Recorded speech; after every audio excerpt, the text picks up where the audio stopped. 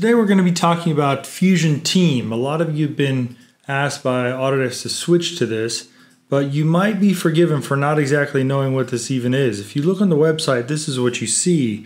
It's not very descriptive and it doesn't really explain a whole lot. So I'm going to compare this to the current situation and let you know what it's all about. Up until now, all hubs have defaulted to be personal hubs. That means that data is your data and you take it with you. You control access to it.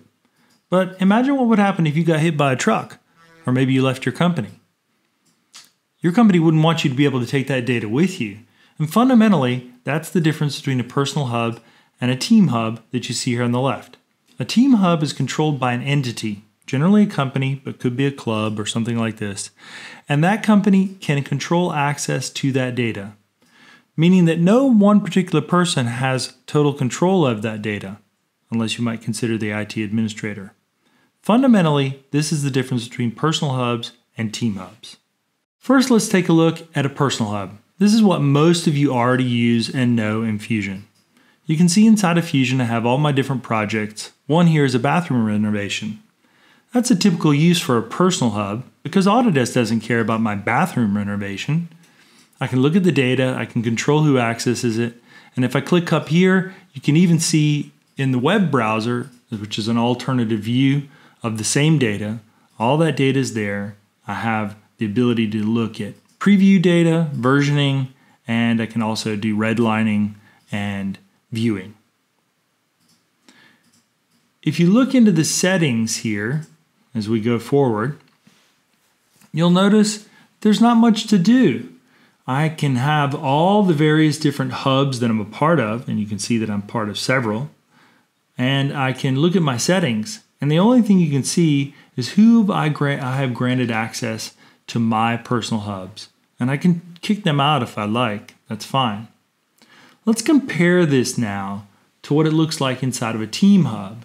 Now, I have a team hub called the Fusion 360 Evangelists. That's the hub I use for work. And you can see here it has a different name. And there are projects in here just like the other ones. They're not the same projects. If you look closely, my bathroom renovation isn't in there because that's mine. It doesn't belong to Autodesk. But there is a project I did a long time ago with some eyeglasses. Now, the data is just the same. In the same way, I can control access to who's part of that project and we can collaborate. It doesn't matter if you're inside or even outside of Autodesk, that works just fine. If I go into the web browser view, the same data is there, there's nothing new here. Really, it's still the same used as, drawings, viewing, redlining, and the like. But if you go in here, you can see that I have new admin characteristics. I am an admin for this team hub. Not everyone will be. But as an admin, I have the ability to grant access, even automatic access, to people of a certain email domain. In my particular case, Autodesk.com.